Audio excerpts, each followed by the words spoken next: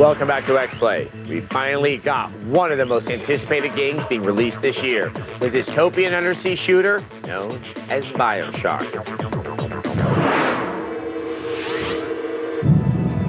You were born to do great things. You know what? They were right. Descend down where you don't control your dreams. Enter a place where anything was possible. A new Plymouth Rock. But it wasn't freedom of religion these pioneers were after, it was freedom of science. Welcome to the city of Rapture. Bioshock for the 360 has arrived. Rapture is a place of wildly imaginative ruin, a place where science, style, and humanity collided, scattering its remains over massive Art Deco inspired dreer. Meet Andrew Ryan. And yes, the similarity to Ayn Rand is as clear as his name and his credo. He gave the people what they wanted human perfection that slowly turned into a gene tortured decline into corruption, addiction, and madness. But first, if you're going to survive this world, you'll need a pint of the local beverage. Plasmids, biological enhancements that render you into a physical weapon.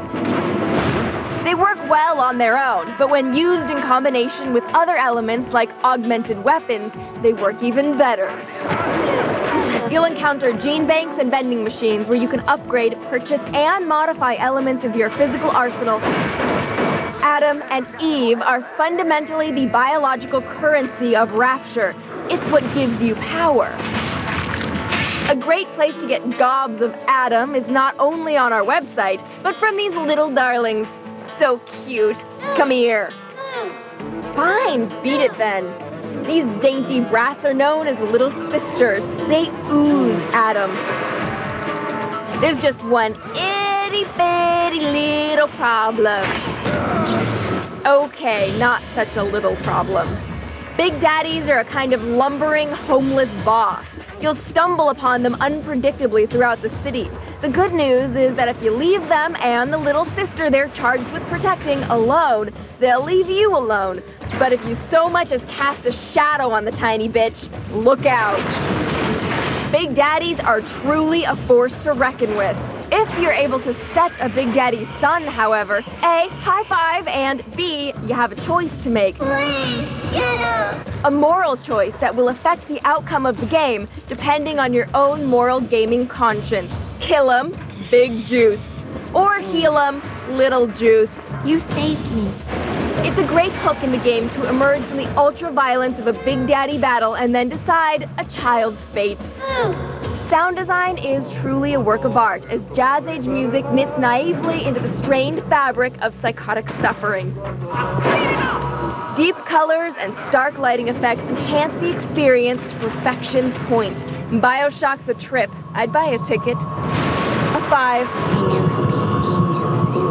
Out of five for an X-Play replay. Vampire Rain got a 2 out of 5. It's a cool premise, but with terrible levels. Nancy Drew, the White Wolf of Icicle Creek, got a 3 out of 5. We were as surprised as you are that it's a decent action game. Trackmania United got a 4 out of 5. It looks great, but is a little multiplayer centric. Planet Puzzle League got a 4 out of 5. The gameplay is addictive, but box organization is a little too familiar. Call of Juarez got a 2 out of 5. It's pretty, but slow. And Bioshock got a 5 out of 5 because it rocks. X-Play, video viewer mail. My question is, if you was trapped inside of a video game server, which game would you want to be? Rayman, I love that world. Yes, it is a little bit dangerous, but I think I could find a little corner where it could be reasonably undisturbed. And it's such a nice mix of the dark and the whimsical, and Rayman's a good drinking buddy. Well, I'm going to be predictable, go with Ratchet and Clank. Sure, there are endless waves of attack, but finite, completable tasks like finding all of the sewer crystals, it gives me a nice sense of control over an uncontrollable world. All right, now stay tuned because another X-Play starts now.